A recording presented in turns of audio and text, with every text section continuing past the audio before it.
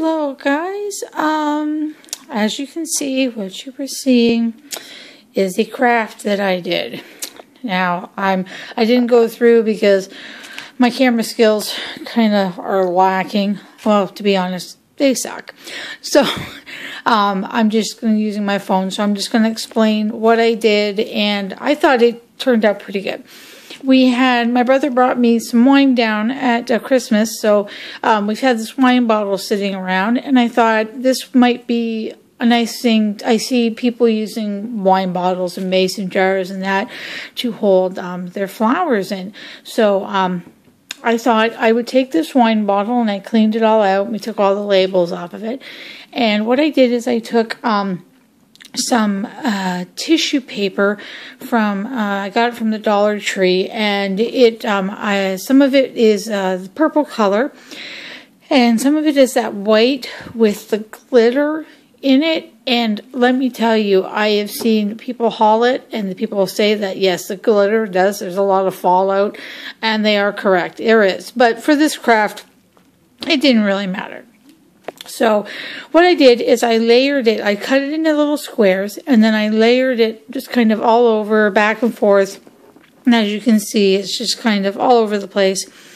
And then I used some Mod Podge, like I've got it right here. I used my Mod Podge and I put a layer of underneath and then I put a layer over top afterwards. So it's pretty, as you can see, it's pretty stuck on there.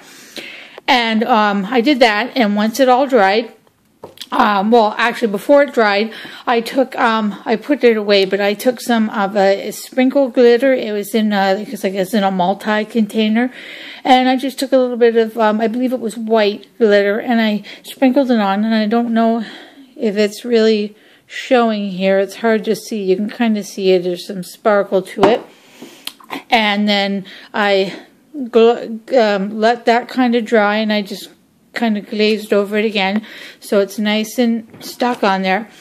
And then I took um, some, let me see, right here. I bought some of this. I got it on clearance at the Walmart. And it's that Scotch sort of washi masking tape. And I wrapped it around here because there was um, a thing, a metal thing on here that wouldn't come off and it kept spinning around. So I brought it all the way down and I secured all that on there.